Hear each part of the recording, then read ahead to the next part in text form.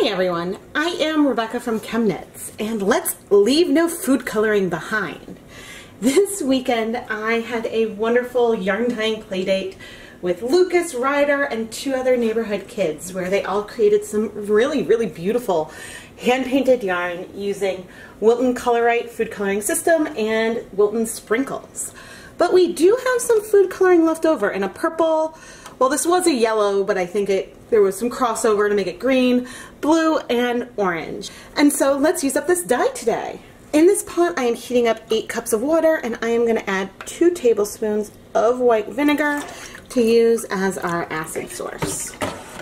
I am pre-soaking our yarn in some plain tap water and I added on a brand new reusable nylon zip tie so that way I have an extra tie and can easily pick this up out of the dye bath.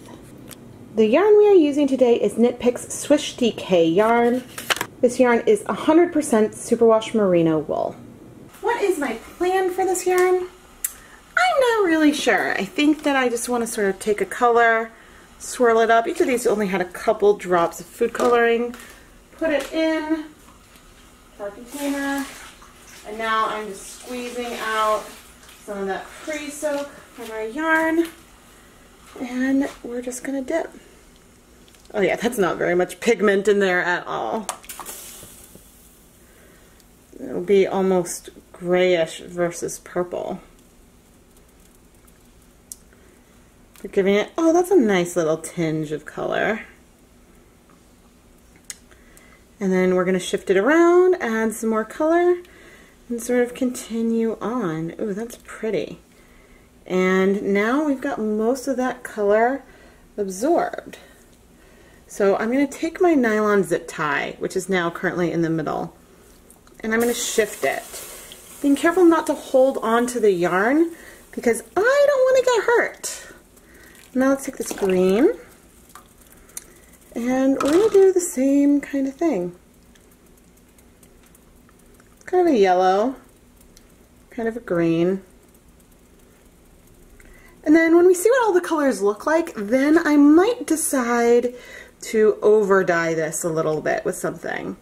But we'll see like what kind of hues we end up with. And you can see that our green is more pigmented than our purple was. I imagine the orange might be fairly pigmented as well. But again, I'm taking the zip tie.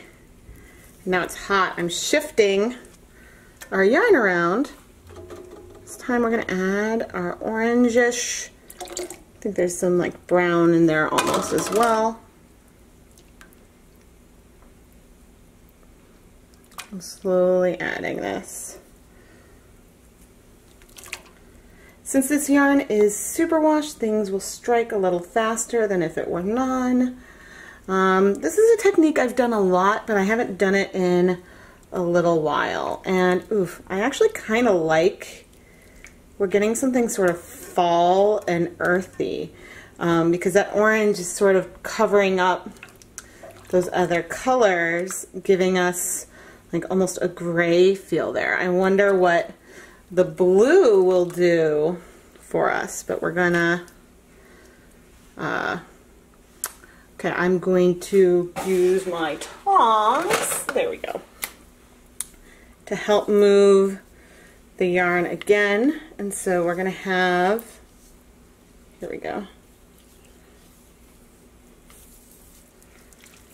shift it so that way one of the last sections there for our blue. And blue typically absorbs a bit slower than some other colors, um, at least in terms of food coloring.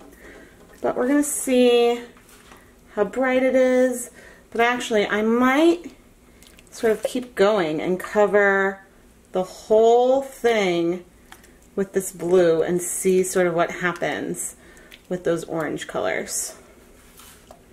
Ooh, I actually really, really like what the blue is doing to these colors. Yes, it's turning some things a little muddier, but I'm not mad at it. I think that it is interesting.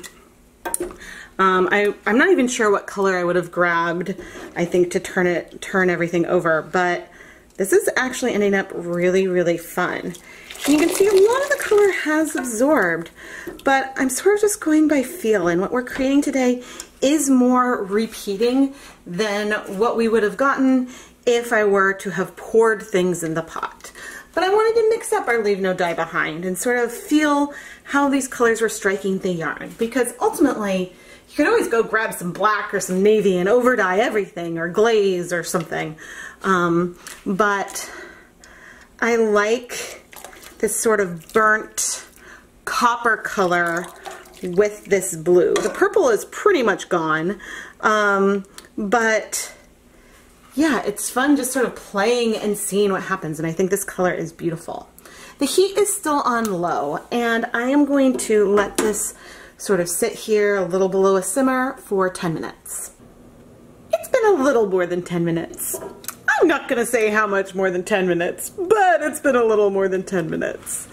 Uh, that happens, but our water is definitely clear. I'm gonna go ahead and leave this in the dye pot um, just for ease and let it cool completely and then we will go ahead and wash it. Um, I did a good job with the temperature today because we definitely stayed like in that perfect sweet spot below a boil um, but you know the color had basically absorbed already. Anyway, we'll be back once things are cool. Let's wash our yarn. I'm just adding some cool tap water and a tiny bit of some clear dish soap. Um, really, any dish soap would be fine. I like to use clear for demonstration purposes. That way all of you can tell if there's any bleeding.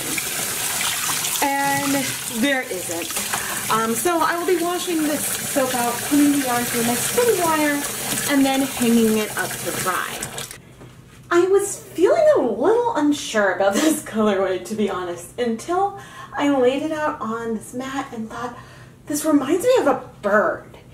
And then all of a sudden, thinking of these colors and the feathers of a very tropical parrot or other kind of bird, it really made sense. Something about it works, just in a way that I wouldn't necessarily have gone out and picked.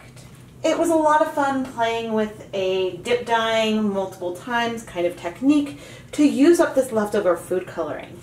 And you can see just how pigmented this yarn really is. I love dyeing yarn with food coloring. It is so easy to find, whether you're looking at the supermarket or at a big box craft store. Uh, you can find food coloring in so many different places. And for me, at least when I got started, it was much more accessible than commercial acid dyes.